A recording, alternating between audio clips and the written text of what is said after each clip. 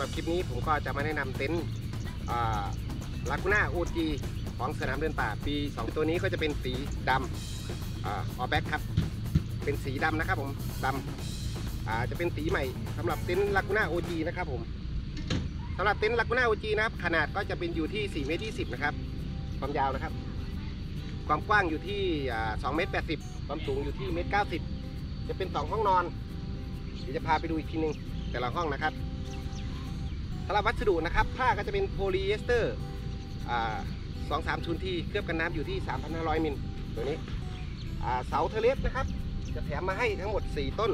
อันนี้เราไปดัดแปลงเอานะครับ เนื่องจาก terrace เราจะมีทั้งหมด 4 บานด้านหน้าจะเป็น terrace terrace terrace คู่นะครับ ด้านข้างจะมี1 terrace แล้วด้านหลังฝั่งนู้นจะเป็นหนึ่งอีกหนึ่ง terraceอันนี้เราก็ประยุกต์เอานะครับ เวลาเราเจอพื้นที่แบบไหน เราสามารถกลับหัวกลับหางได้เลย พื้นจะเป็นพื้น PE 210กรัมนะครับ เคลือบกันน้ำสองสองด้านนะครับ ตัวนี้ขนาดใหญ่อลังการ จะมีสองประตูอะสี่ประตูนะครับมีทั้งหมด 4 ประตูสองหน้าต่างหลักนะครับ แล้วก็ทั้งหมด 10 หน้าต่างนะครับ รวมเบ็ดเสร็จนะครับ10 หน้าต่างยังไงเดี๋ยวจะพามาดูรอบข้างอีกทีนึงนะครับ ของตัวเต็นท์ที่กลางแล้ว ครับสำหรับด้านนอกนะครับ ผมก็จะมาแนะนำคร่าวๆการกลางนะคร่าวๆก่อนสำหรับเสานะฮะจะมีเสา A คือเสาคานนะครับ 1 เส้น เสาจั่วนะครับ จะมี 6 เส้น แต่ว่าเสาจั่วหัวกับท้ายนะครับ จะขนาดยาวกว่าตรงกลางจะสั้นนะครับกลางง่ายๆ หรือไม่ก็ไปดูคลิปเก่าๆได้ แล้วก็ตัวเสาเต็นท์นะครับ จะมี 6 เส้น หัวท้ายสั้นหัวท้ายยาวนะครับ กลางสั้น จำง่าย ๆเลยครับ ชุดกลางนี่จะสั้นกว่านะครับอะสำหรับตัวเต็นท์ OG นะครับ ตัวนี้ก็จะเป็นประตูเข้าออกด้านหน้า หรือด้านข้างก็ได้ แล้วแต่คนจะเรียกนะครับ จะเข้าออกได้อ่าเป็นประตูลูกตัวทีนะครับอ่าสำหรับตัวนี้จะตั้งเป็นเทเลสคู่อ่าแล้วก็ตัวนี้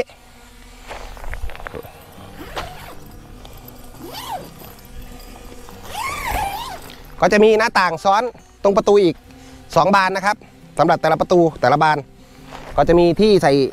สายไฟตรงนี้นะฮะจุดนี้พ่วงเข้าไปถึงข้างในนะครับ ตรงนี้อ่านี่นี่ด้านในครับทะลุห้องในอะไปดูรอบเต็นท์ก่อนดีกว่าอะตรงนี้ก็จะเป็นประตูนะครับ ประตูห้องหน้าหรือว่าห้องนั่งเล่น แต่สามารถนอนได้นี่ก็จะมี 3 บานนะครับ1 2 3ก็จะมีหน้าต่างซ้อนกันอีกทีนึง เดี๋ยวค่อยเข้าไปดูข้างในสำหรับตัวนี้ก็จะเป็นสีดำเป็นสีใหม่ของ Laguna OG นะครับ ตัวนี้ก็จะเป็นหน้าต่าง ฝั่งนี้ก็จะเป็นหน้าต่างนะครับ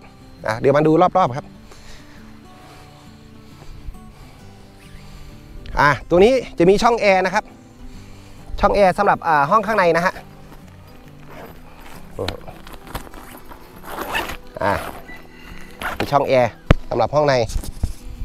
ถ้าห้องนอกก็เปิดโล่งทะลุกันได้ถ้านอนเยอะๆนะฮะอะทีนี้ก็จะพาไปดูข้างในห้องนี้ก่อน แต่ละห้องนะฮะ เอาห้องนอนนะครับ ห้องนอนหลักก่อนสำหรับประตูก็จะมีตรงนี้นะฮะประตูเข้าออก แล้วก็จะมีประตูทางเชื่อม ประตูเข้าออกจะมีนี่ฮะ หน้าต่างซ้อนอีกทีหนึ่งโอ้สีอะไรก็ร้อนนะครับกลางวัน ถ้าร้อนนะครับเราก็เปิดระบายอากาศได้เลย ไม่ต้องกลัวครับ เต็นท์เราระบายอากาศได้ดี มีจุดระบายอากาศด้านบนด้วยในกรณีเราไม่อ่าติดแอร์นะถ้าติดตั้งแอร์ก็ปิดไป ส่วนประตูเชื่อมห้องนะครับ ประตูเชื่อมห้องนะครับ ก็จะเป็นประตูซ้ายขวา อ่า แล้วก็หน้าต่างครึ่งหนึ่งนะครับคือเอาไว้ส่องครับเพื่ออยากรู้ว่าคนข้างนอกเขาทำอะไรเขานั่งดื่มถึงไหนแล้วอะส่องจากด้านในได้ หน้าต่างเราเยอะครับ ไม่ต้องกลัวนะครับ แล้วก็ตรงนี้จะมีจุดที่ไขว่อ่าแขวนตะเกียงนะครับ มีทั้งข้างในข้างนอก แล้วก็จุดยึดสายสายไฟไฟนะครับอ่าตีนตุ๊กแกครับ จุดยึดสายไฟนะไล่จากข้างล่างเลยนะอ่าเอาที่สะดวกเลยครับ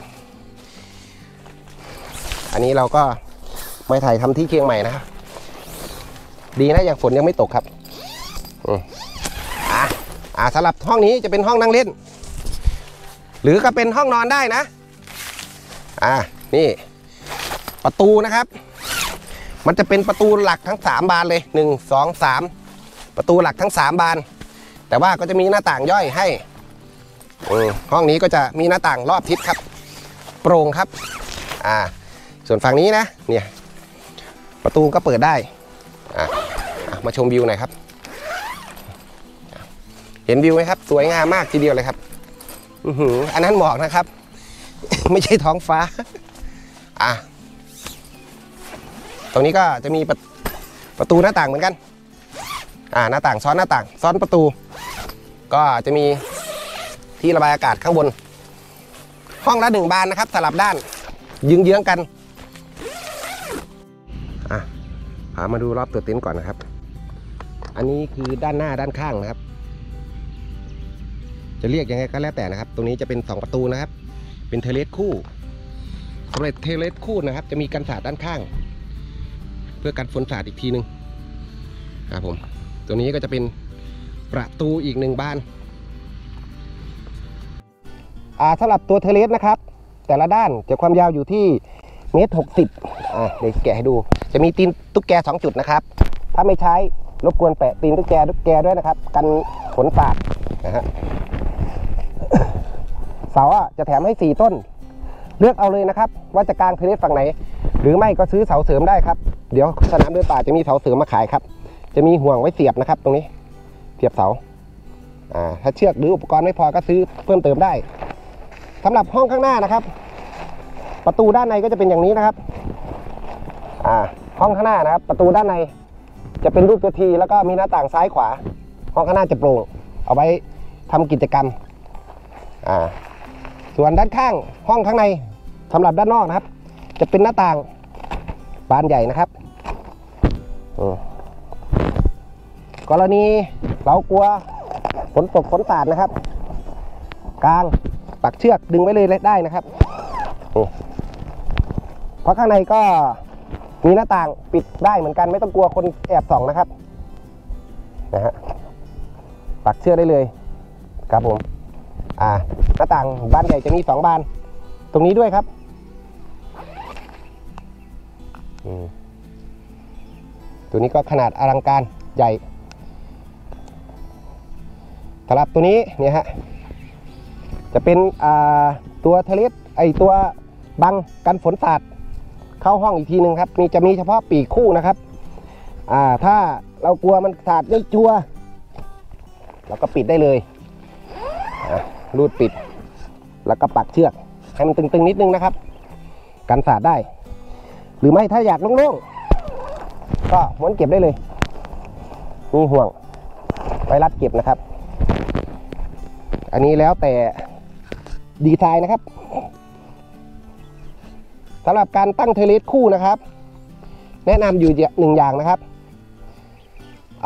คู่กลาง ควรจะเป็นมีเสาเทเลสหนึ่งเส้น และต้องสูงกว่าหัวท้าย เพื่ออาเราป้องกันฝนสาดหรือฝนน้ำเป็นเอ่อเขาเรียกอะไรตกท้องช้าง มันจะน้ำจะไหลได้เร็วขึ้นนะครับ หรือไม่เราก็ปรับ อ่าให้มันต่ำกว่านิดนึงนะครับซ้ายขวา เอาแต่เอาที่ถนัดเลยครับ และอย่างหนึ่งครับตรงกลางนะครับ อย่าลืมปิดตีนตุ๊กแกด้วยนะครับ อาจจะมีน้ำซึมมาตรงนี้นิดนึงนะครับ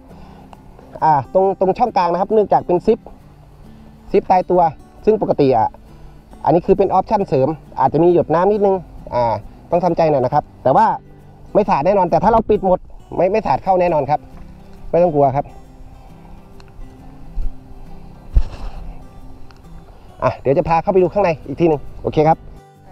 ครับผมสำหรับเต็นท์ลากูน่าโอจีสีดำก็มีวางจำหน่ายแล้วนะครับ ในสนามเดินป่าออนไลน์ แล้วก็หน้าเว็บไซต์นะครับ www สนามเดินป่า .com เพจ Facebook นะครับสนามเดินป่า Field and Camping ผู้ติดตาม 2.5 แสนเท่านั้นนะครับ ผู้ติดตามน้อยๆก็ไม่ใช่นะครับ แล้วก็อีกอย่างหนึ่งถ้าสั่งซื้อทางเพจ หรือเว็บไซต์นะครับ เราจะโอนบัญชีบริษัทสนามเดินป่าเท่านั้น ไม่ได้โอนนามบุคคลนะครับ แล้วก็จะมีดีลเลอร์ตามต่างจังหวัดต่างๆ ตัวนี้ก็กระจายสั่งไปเรียบร้อยแล้วนะครับ ลูกค้าท่านใดสนใจก็สั่งซื้อได้เลยนะครับ มีทั้ง Shopee และลาซาด้านะครับ ขอบคุณครับ